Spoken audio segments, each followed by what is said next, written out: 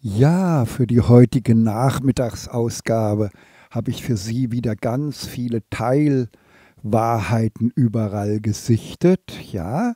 Aber das Tragische ist, die ganze Wahrheit, nämlich die, auf die Antwort auf die Frage, warum, wieso läuft das alles so schief, die finden Sie leider nur hier und ich kann es andeuten. Alle diese Teilwahrheiten handeln, äh, erklären die Symptome, aber die Ursache der Symptome ist die bis zu 400.000 Jahre alte Marktwirtschaft des Dr. Markus Krall, des Chefideologen der Marktwirtschaft. Und äh, das werde ich alles wieder in dieser Sendung beweisen. Aber fangen wir äh, an. Also seit dem 25.02., als ich dann gebeten wurde, äh, einen Kommentar zur Sendung 327 noch zu, zu mailen, um die dann, damit die dann, dieser Kommentar dann veröffentlicht werden kann zu Corona, sagen wir die ganz klare Aussage sozusagen, Sowohl die Hysterie bei Corona ist verursacht durch die marktwirtschaftlichen Gesetzmäßigkeiten und äh, als auch die Anfälligkeit für das Virus, also die Immunschwäche der Menschen, ist verursacht durch die Marktwirtschaft, die uns krank machende Ernährung, giftiges Wasser, giftige Luft, giftige Medikamente, giftige Nahrung liefert. Das äh, liefert die Marktwirtschaft zwangsläufig und automatisch, was ich gleich wieder aufzeigen werde,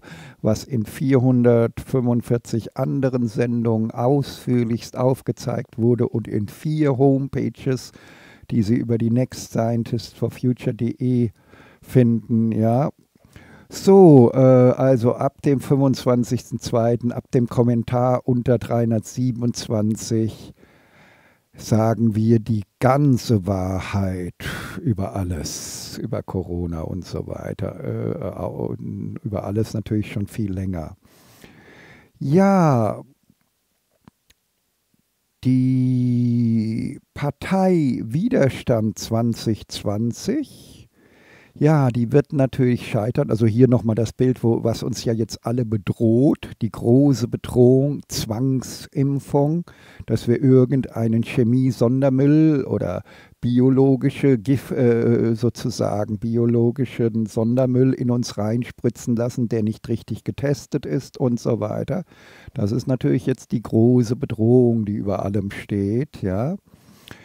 Ja, also die Partei Widerstand, ja, äh, die sollte sozusagen, habe ich auch schon gemailt, sollte sich also beim Parteiprogramm vom Weltrat der Weisen von den Next Scientists for Future.de beraten lassen, weil äh, äh, wenn das Parteiprogramm auch nur eine irgendwie weltfremde Geschichte beinhaltet, wird diese Partei natürlich kläglich scheitern. Und das ist unheimlich wichtig, dass man äh, bei wirklich das macht, was man ja jetzt allen anderen vorwirft, dass man sich wirklich mit den unterschiedlichsten Experten zum Diskutieren zusammentut, um dann zu entscheiden, ob ein Parteiprogrammpunkt eher weltfremd ist oder realistisch ist aus naturwissenschaftlicher Sicht. Ne?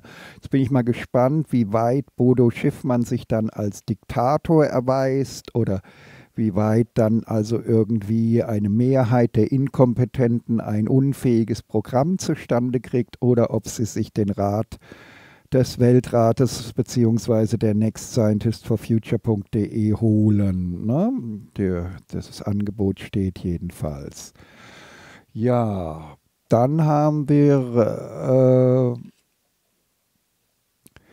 erfreulich ist ja, dass diese Partei eben äh, äh dabei ist, auch äh, die FDP und die Partei Die Grüne mitgliedermäßig über, zu überschreiten. Aber Herr Schiffmann hat also da auch schon wieder weltfremde Ansichten. Das interessiert niemanden. Niemand wird über eine Konkurrenz äh, äh, sozusagen der Großparteien berichten, bevor nicht bei einer Wahl mindestens mal die 5%-Hürde über, äh, überschritten ist. Und bis das geschehen ist, wird man alles tun, natürlich ganz selbstverständlich unter Bedingungen der Marktwirtschaft, ganz selbstverständlich als jede irritierende neue Partei unten zu halten, solange es eben nur geht. Ja? Und wenn man dann noch einige weltfremde Konzepte hat, dann kann man natürlich diese Partei umso äh, Partei, also im Parteiprogramm, dann kann man die Partei natürlich direkt abtun. Ne? Und, und das wird man auch tun. Ja, äh, Schluck Wasser.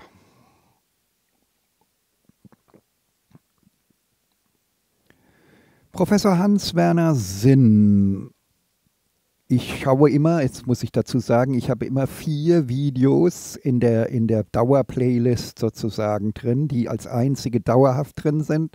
Der Talk von KenFM mit dem Verfechter der Marktwirtschaft schlechthin, Dr. Markus Krall.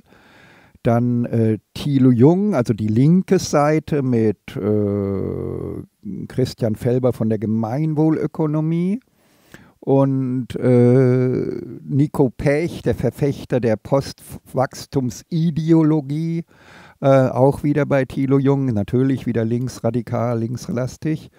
Und dann, wen habe ich noch? Äh, ähm, Nico Pech, Christian Felber, Markus Krall. Jetzt muss ich selbst mal nachschauen, ja, sozusagen, was hier meine Arbeitsgrundlage ist.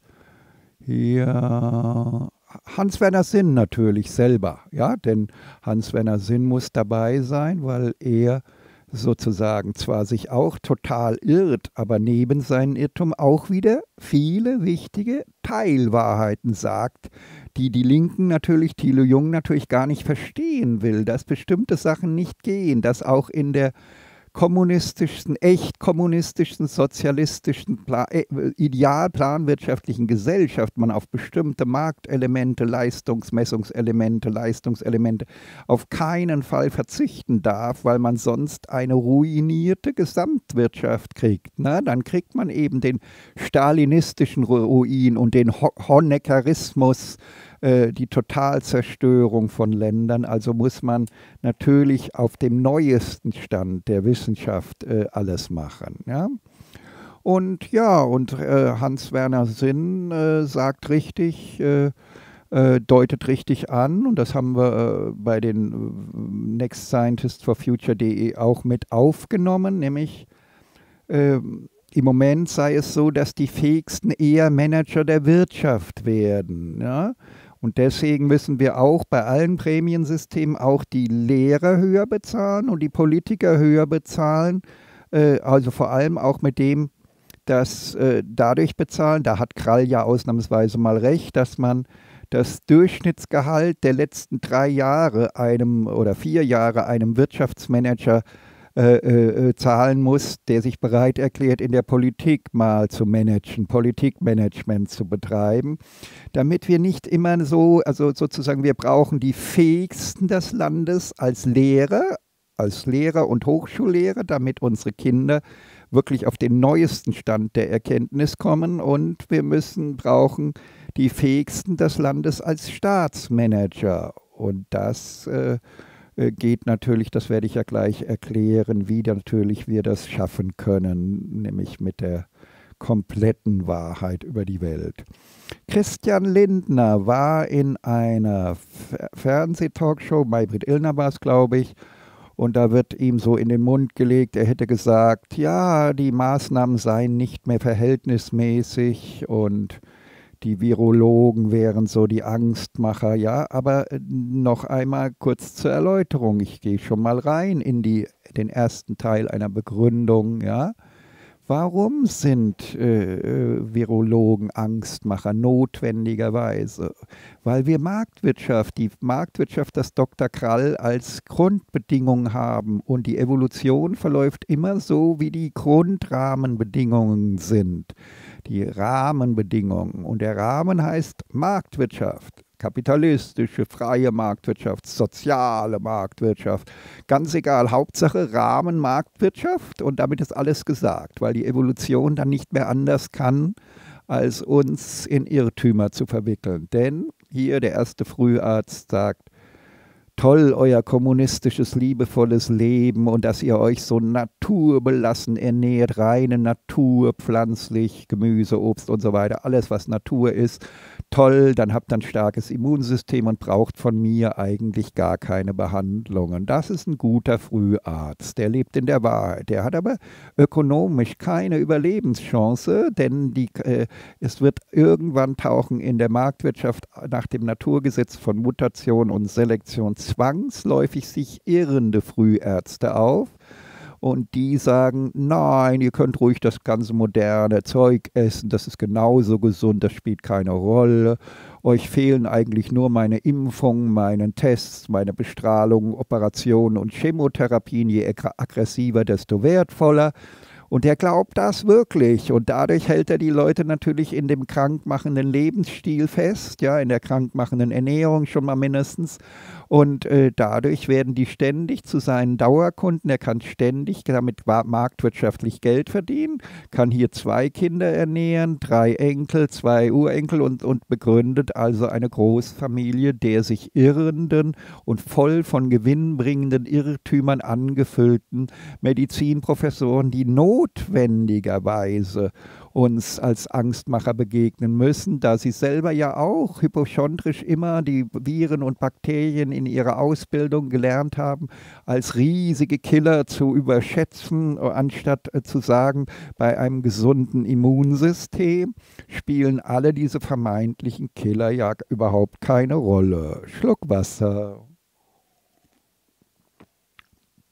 Katja Saalfrank, die sogenannte Super Nanny, war wohl auch mit in der Sendung dabei. Und dann, äh, ich gucke mir sowas selbst gar nicht an. Ich habe jetzt nur den Bericht darüber ge gelesen, weil das ist ja alles so langweilig und so uninteressant.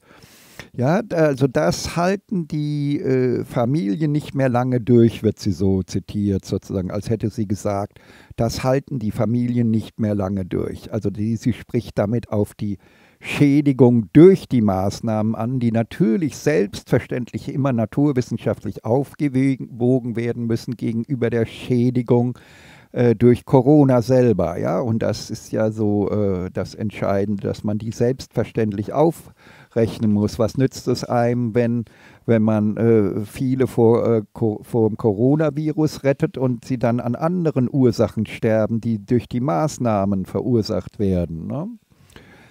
Ja, dann ein ehemaliger Verfassungsrichter hätte, hätte sich pro Lockerungen ausgesprochen. Ähm ja, das Thema angesichts der, äh, der Illner-Sendung, also äh, ja, das äh, Expertenhörigkeit ist das Thema. Und das habe ich ja eben klar gemacht unter Bedingungen. Dieser Experte hier, der wahrheitsorientierte Experte, die finden wir, sowas finden wir in solchen nur als Restbestände. Die finden wir bei den Next Scientist for Future.de, beim Weltrat der Weisen und äh, bei Wodak und Co. finden wir überall solche Restbestände an Wahr Teil, wenig, wenigstens teilwahrheitsorientierten äh, Fachleuten, aber die sind immer die Ausnahme und der Mainstream der Ärzte, an denen sich ja die Politik hält, die sind immer voll, voll, bis äh, Unterkante sozusagen voll, voll mit gewinnbringenden Irrtümern und die müssen die gesamte Politik und die gesamte Journalistenschaft notwendig in die Irre führen. Also Expertenhörigkeit ist das direkte Problem, aber auch das entsteht eben daraus, weil wir alle marktwirtschaftshörig sind. Da wir die Marktwirtschaft nicht verstehen und nicht hinterfragen, sind wir selbstverständlich dann auch expertenhörig. Ja? Denn erst wenn man versteht, dass die Marktwirtschaft immer in allen gesellschaftlichen Bereichen nichts anderes produziert als gewinnbringende Irrtümer, die dann eine Gehirnwäsche darstellen, in die Irreführung hinein, ja, dann äh, es halt nicht anders. Ja? Also äh, ja, also äh, wo war das mit der Expertenhörigkeit? Weiter geht's mit Lindner hat dann wohl äh, nochmal gesagt, dass die, ich sag mal in Anführungszeichen, Experten sich ständig widersprechen, das zeigt er auf, da hat er natürlich recht, denn die, die, die werden ja auch von ihren gewinnbringenden Irrtümern hin und her gebeutelt und, und wissen ja eigentlich in Wirklichkeit gar nichts äh, über die naturwissenschaftlichen Zusammenhänge von Gesundheit und Krankheit. Ne? Dann Professor Stefan Homburg war wieder mit einer eigenen Sendung zu sehen. Äh, äh und ja, und er äh, spricht über die Ursachen der irreführenden Fehldarstellungen, und zwar, dass die ihm eben unklar sind. Und das ist genau der Punkt. Da ihm die, die Fähigkeit fehlt, deswegen finden sie Wahrheit, die ganze Wahrheit immer nur hier. Er kann nur sagen, ich, ich kann die Teilwahrheit sehen. Ich kann sehen, dass es da irreführende Fehldarstellungen gibt, ja aber ich verstehe nicht, woher denn sowas kommt und wo, wo denn die Ursache vor sowas sein kann. Ja? Äh, äh, es ist ihm einfach nicht klar, dass in jedem gesellschaftlichen Bereich sich immer die gewinnbringenden Irrtümer äh, äh, durchsetzen und dass deswegen natürlich die gesamte Medizinindustrie wieder nur Irrtümer verbreiten kann, die wiederum zu Gewinnen führen, der pharmazeutischen Industrie, der Medizinindustrie. Und das ist naturgesetzlich nur so möglich, seit wir die Marktwirtschaft erfunden haben. Also müssen wir die Marktwirtschaft beenden. Ja? Ich komme ja nachher noch zur Wohlfühlstimme als ein Lösungsmodell von vielen. Ja?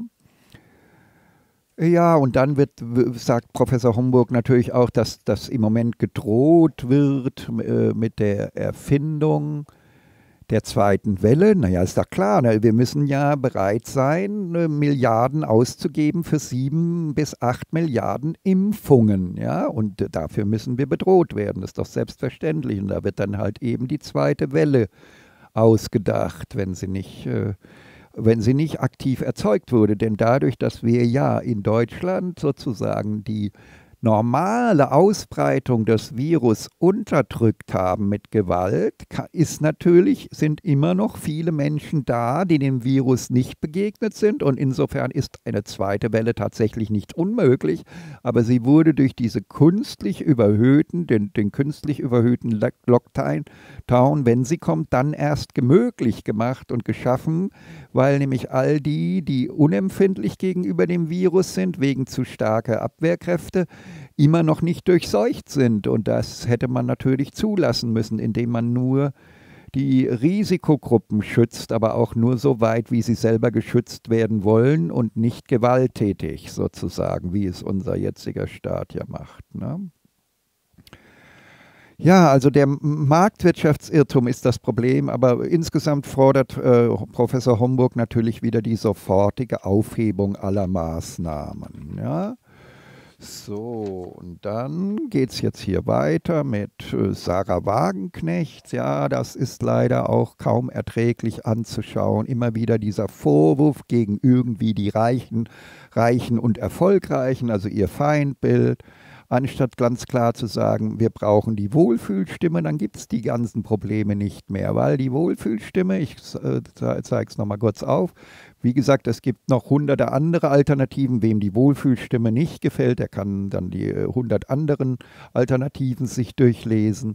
Aber die Wohlfühlstimme würde also hier schlagartig bewirken, dass die gewinnbringenden Irrtümer sofort anfangen würden auszusterben weil nämlich plötzlich keine Gewinne mehr kommen, sondern nur noch Verluste, weil schlechte Wohlfühlstimmen durch gewinnbringende Irrtümer sofort die Verdienstzuschläge dieser Ärzte zum Beispiel reduzieren würden und die dazugehörigen schlechteren Gesundheitsdaten werden ja dann auch zur Grundlage der Verdienstzuschläge gemacht. Und dann sterben alle Irrtumsträger, also alle gewinnbringenden Irrtümer sterben aus, entweder indem sich die Ärzte selber von ihren gewinnbringenden Irrtümern befreien mit Hilfe der wahrheitsorientierten Fachleute, ja, zum Beispiel dem, dem Next Scientist for Future.de. Und dann ist das Problem gelöst sozusagen. Und damit hätten wir eine Gesellschaft, mh, Schluck Wasser, in der alle Gesellschaftsteile den Menschen dienen und auch der Gesundheit und Langlebigkeit und Lebensglück und Lebensqualität der Milliardärskönige dienen, dann dient jeder Teil der Gesellschaft, jedem Menschen, egal ob er Milliardärskönig ist oder nicht. Und im Moment ist es so, dass alle Teile der Gesellschaft allen Milliardärskönigen schaden, nur dass äh, jeweils nachdem, an welchem äh, ein Milliardärskönig finanziell beteiligt ist, dann profitiert er zwar finanziell, aber von der Lebensqualität, von der Gesundheit und von der Langlebigkeit schädigt wird der, wird der Milliardärskönig genauso wie der Ärmste der Welt von allem geschädigt, was dieses marktwirtschaftliche System mit uns allen eine furchtbare Misshandlung anstellt, sozusagen. Ja? So, dann geht es weiter. Also Sarah Wagenknecht, wie gesagt, äh, hier Wohlfühlstimme statt diese ständige Vorwurfshaltung gegen die Erfolgreichen und Reichen und ja, die zahlen zu wenig Steuern und alles, ja, und immer wieder die gleiche Leier. So, dann gehen wir weiter. Fridays for Future lädt natürlich, habe ich ja schon gesagt, äh, alles, was an, an, unsinnigen und unqualifizierten Leuten in der Welt ist, die lädt, aber die irgendwie einem linksradikalen Denken entsprechen, die, die machen, da machen sie eine Sendung nach der anderen, haben natürlich da auch eine unsinnige Landwirtschaftsreform wieder vorgestellt in einer neuen Sendung, anstatt hier, wie gesagt, äh, die, ähm, die äh, Wohlfühlstimmen äh, da, dazu führen zu lassen, dass jeder Lebensnahrungshändler, der mit seinen Produkten die Gesundheit und das Wohlfühlen seiner Kunden auch nur im geringsten schädigt, wird, bekommt überhaupt keine Verdienstzuschläge und geht pleite, wenn er nicht schleunigst seinen Kurs ändert.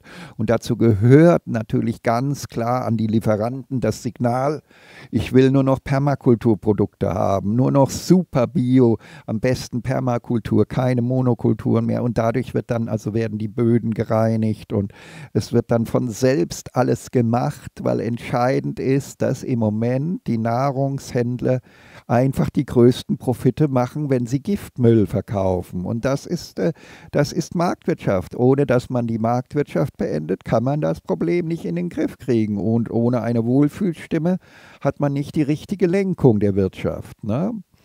Und dann haben wir den nächsten Interessierten in dem ganzen Spiel, Dr. Eckhard von Hirschhausen, der natürlich in seinem Gesamttenor, der, die hatten ja damals die Zusammenarbeit mit dem Weltrat abgelehnt, also seine Ärztevereinigung, die er da so hat, die wollen natürlich da auch das Gesamtgeschäft äh, der Medizin soll bloß nicht gestört werden und deswegen bringt er natürlich auch so eine falsche Erklärung äh, in seiner neuesten Sendung, äh, nämlich äh, dass das Überspringen von den Tieren das pro große Problem sei und deswegen dürfen, müssen alle aufhören, Tiere zu essen. Ich bin ja selbst auch Veganer, aber äh, das stimmt halt einfach nicht. Nicht das Überspringen von den Tieren ist das Problem, sondern die Immunschwächung, der relative Unterschied zwischen dem naturbelassenen starken Immunsystem von Tieren und unserem durch Medizin Medizin und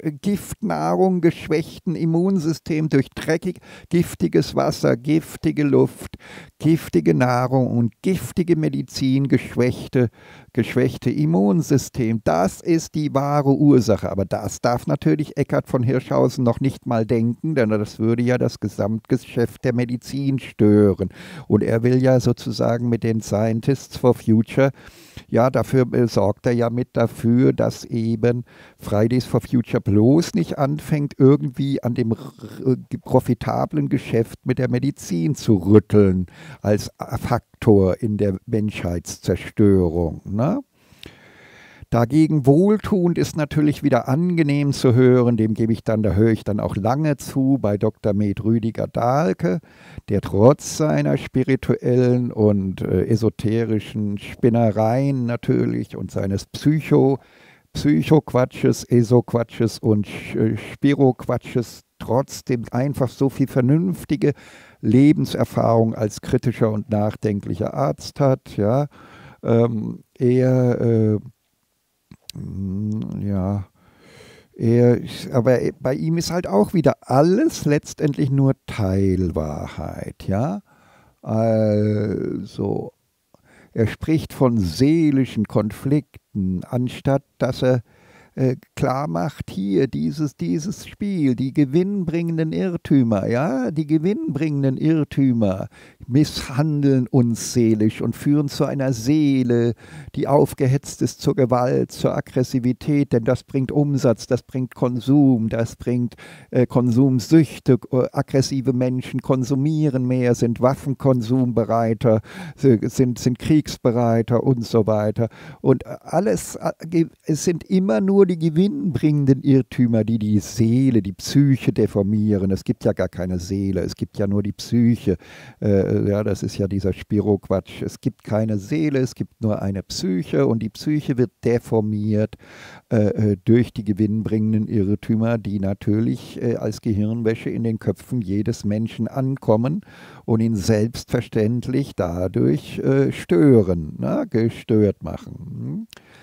Ja, also durch die Wohlfühlstimme verschwinden alle gewinnbringenden Irrtümer und dann werden die Menschen leben in der Wahrheit und mehr geht nicht. Ja, Menschen, also es geht nur darum, Irrtümer raus aus dem Kopf, Wahrheiten in den Kopf rein und mehr geht seelisch nicht, also psychisch nicht. Ne? Jetzt falle ich schon selbst auf den, das Modewort rein. Ja, dann äh, das Bild des Pharmastaates. Also eigentlich ist alles, was er schildert, ganz realistisch. Wir, wir, sind halt ein, und das müssen wir halt akzeptieren. Solange wir die Marktwirtschaft nicht hinterfragen, leben wir zwangsläufig in einem Pharmastaat, einem Medizinstaat. Und der regiert. Und das ist zwangsläufig so, ja. So, dann spricht er, wo ich jetzt gerade selbst auch mich entschieden habe, Fasten zu meinem Lebensstil zu machen äh, spricht er selbst von seinem Fasten, weil er sagt, er hätte wohl selber Corona jetzt gehabt und dadurch äh, hätte jetzt dann auch nochmal schnell gefastet, um sein Immunsystem hochzufahren. Und er hat also wohl als 69-Jähriger kaum etwas von Corona gemerkt. Ja? Äh, äh, aber er hätte es wohl gehabt, das meint er wohl, ich weiß es nicht. Ja, äh, und er hat vollkommen recht, dass wir die Risikofaktoren beheben müssen. Also, und wie heißen die Risikofaktoren? Über allem Risikofaktor Nummer eins Marktwirtschaft. Und dadurch raus resultierendes giftiges Wasser, giftige Luft, giftige Nahrung und giftige Medikamente und Bewegungsmangel und alles, also krankmachender Lebensstil generell, marktwirtschaftlicher zerstörter Lebensstil. Deswegen brauchen wir ja die komplette moderne Lebensstilmedizin. Ja? So. Übrigens, äh, so ein paar Bemerkungen. Also, wir können, bevor ich es vergesse, hier zum Beispiel müsste doch hier zum Beispiel hier äh, das Forum vom Weltrat der Weisen äh, Gesundheitstipps und Neues, das ist also Forum Übersicht, hier Forum Weltrat der Weisen, Weltrettung, ja danke, aber wie? Und dann die Unterabteilung Gesundheitstipps und Neues, Dr. Jakob, Professor Michaela Döll da habe ich selbst äh, äh, sozusagen der Kollegin mal mitgeteilt, wie ich das mache und sie hat das dann hier reingeschrieben, die Frau Wagner von den ehrenamtlichen Helfern.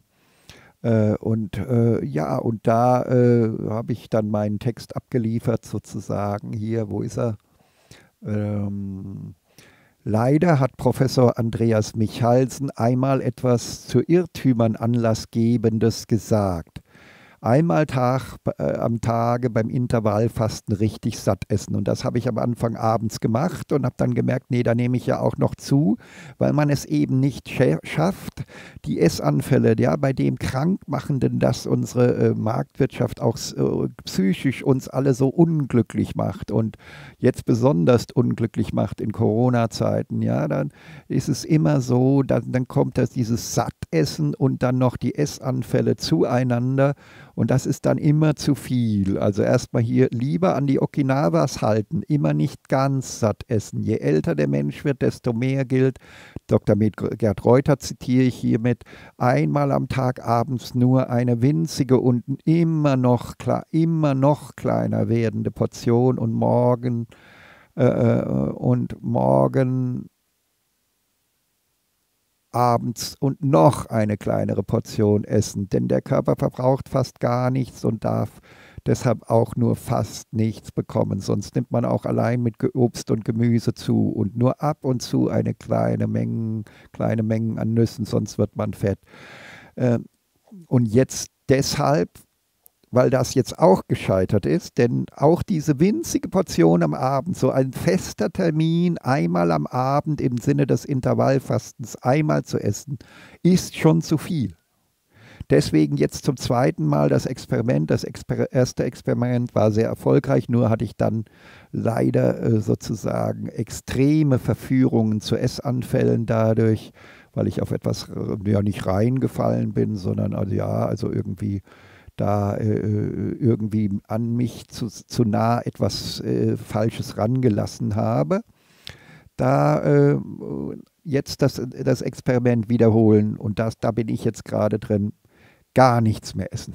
Machen Sie sich zum Grundprinzip gar nichts mehr zu essen. Erstens kriegen Sie dann äh, innerhalb von vier Tagen, wie Dahl gesagt, ein hochleistungsfähiges Immunsystem und immer nur Fasten als Lebensstil, auf, und zwar auf Dauer, nicht nur für eine bestimmte Zeit, sondern äh, ich erkläre natürlich gleich, was die, was die Regel ist dabei. Natürlich nicht Fasten, wie man es kennt, sondern immer nur Wasser. Ich nehme ja immer morgens dann das Magnesium rein. Dr. Jakob empfiehlt ja besser abends. Also ich habe ja so zwei große Tagesevents, wo ich literweise Wasser in mich hinein trinke. Ja? Schluck Wasser, ne? Einmal nach körperlicher Arbeit am späteren oder Nachmittag im Moment, ja, sozusagen, und einmal morgens Wasser, ja, Wasserfasten, ja. Und äh, Wasser mit Magnesium, ich nehme es halt morgens, passt bei mir irgendwie besser und äh, aber empfohlen, weil Magnesium fördert die Schlaftendenzen, also sollte man das Magnesium vielleicht besser abends nehmen, aber bei mir passt es halt besser morgens, ja. Und dann B12 äh, nehme ich dann ab und zu und jetzt kommt die Ausnahme vom, also immer dauernd fasten, aber sobald unangenehmer Hunger kommt, darf man eine winzige Portion Gemüse oder Obst sich machen und dann kann man dabei ja beim Gemüse dann eben D3K2-Öl, Öltropfen dazu tun, Leinöl dazu tun, DHA, EPA-Öl, einen kleinen Schuss rein tun und dann hier plus im Moment bei Corona Joggen und Gymnastik in der Wohnung zu Internetsendungen. So zum Beispiel habe ich jetzt auch Rüdiger Dahlkes Sendung äh, ganz gehört, weil ich dabei durch die ganze Wohnung gejoggt bin und äh, natürlich den Ton nur so laut machen, dass ich es gerade so eben höre und verstehen kann habe die Geschwindigkeit dann auch auf 1,5 gedreht auf einem dieser Internetplattformen. Äh, und, äh, und das als Dauerprogramm. Also keine festen Mahlzeitentermine mehr. Also heute Abend werde ich nichts essen. Wenn ich nicht beißenden Hunger habe, esse ich gar nichts heute Abend. Ja? Äh, äh, denn, denn wenn ich Hunger habe, esse ich sofort eine kleine Portion. Denn warum soll ich den Hunger übergehen? Ja? Wenn da irgendwas sich wirklich meldet, dann esse ich eine Kleinigkeit. Aber dann darf es eben nur diese Winzlingsportion sein. Ja? Äh, Vielleicht lässt sich heutzutage eben nur noch so ein Gleichgewicht finden. Sobald wir auch nur einmal am Tag eine feste Mahlzeit einplanen, ist, ist das Chaos schon vor, vorbereitet. Ja? Und äh, vielleicht noch äh, ein wenig auf ausreichend Zink achten. Also ich habe so meine tägliche Zinkdosis. Äh, ja, hm, Schluck Wasser. Rüdiger Dahlke erwähnt ja äh, Vitamin C immer wieder, aber ich denke, ich esse, wenn ich ein bisschen Obst esse und, und winzige Portionen Gemüse, da ist genug Vitamin C drin, ne? gehe ich mal von aus. Ja. ja, dann haben wir hier die Videos, hier zum Beispiel Sendungen von, von Dr. Jakob, Professor Michaela Döll und so weiter und von mir, glaube ich, auch dabei. Sendung, hier geht es nochmal zum Preppern. Also so viel dazu. So, jetzt geht's weiter. Schluck Wasser nochmal.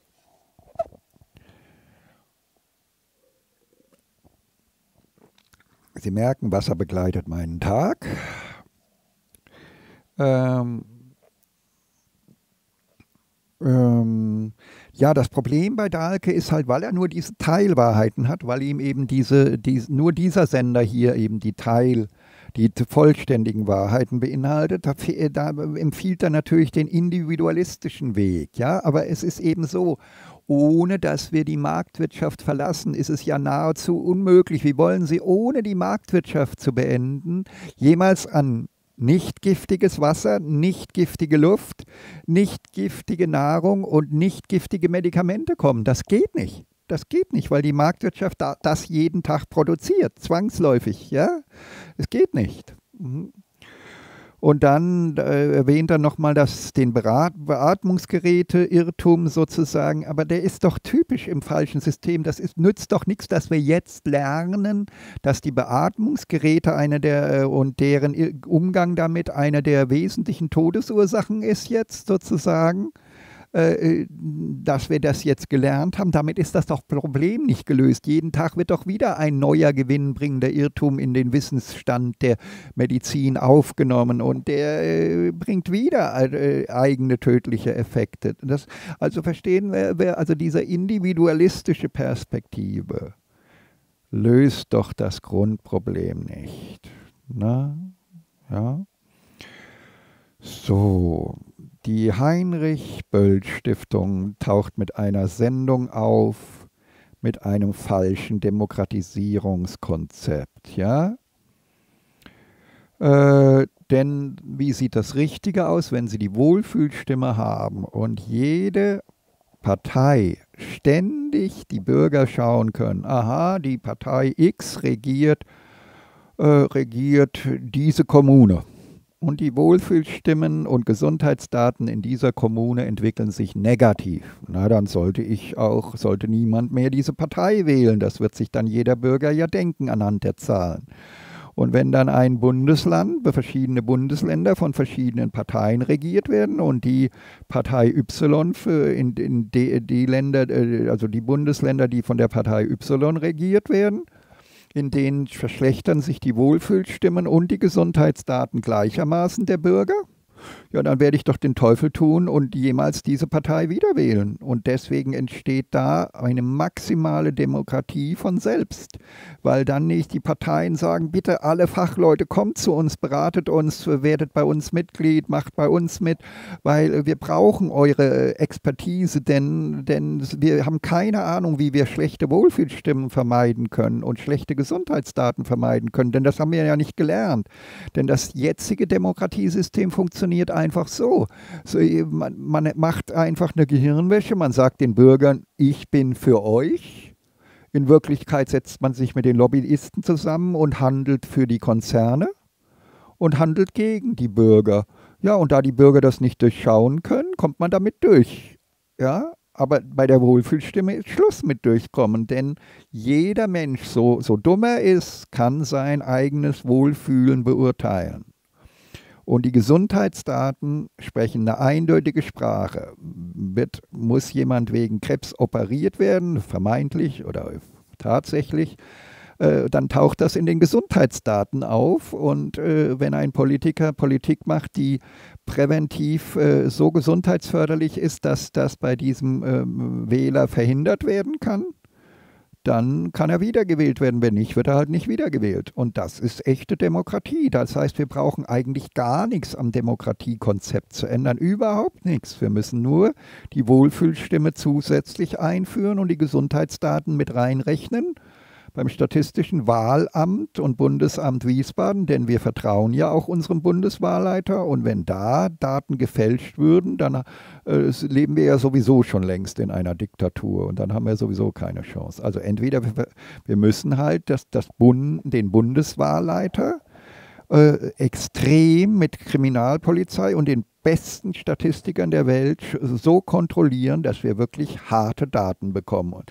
das das ist dann der einzige Ort der gesamten Welt, wo wir harte Daten bekommen. Unser Statistisches Bundes- und Wahlamt Wiesbaden wird zum einzigen Ort der Wahrheitsfindung. Na, dann, den müssen wir natürlich wie Fort Knox schützen dann.